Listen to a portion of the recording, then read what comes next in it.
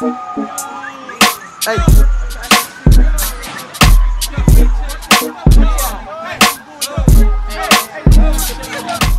Yo, what's up people? Ich bin der Fahrt, ich bin 26 Jahre alt. Ich tanze Hip-Hop, House, Crump und Choreografie. Äh, seit den letzten Jahren ist mir aufgefallen, dass der Tanzstil Hip-Hop sich immer mehr ins Negative entwickelt hat. Und es werden so viele Sachen als Hip-Hop bezeichnet, vor allem in der Choreografie-Szene, obwohl es wirklich nicht was mit Hip-Hop zu tun hat.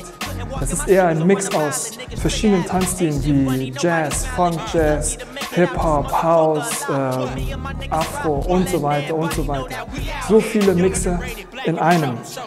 Und das ist Choreografie, aber nicht wirklich Hip-Hop. Ich will beitragen, es besser zu machen. Ich bin zwar kein OG, aber ich lege sehr viel Wert auf äh, Basics, Foundations und die Kultur, die Geschichte dahinter. Schuld unter anderem sind die Medien. Ich will dazu beitragen, es besser zu machen. Jeden Samstag hier in der Step to This. Ich freue mich auf euch. Respect the culture.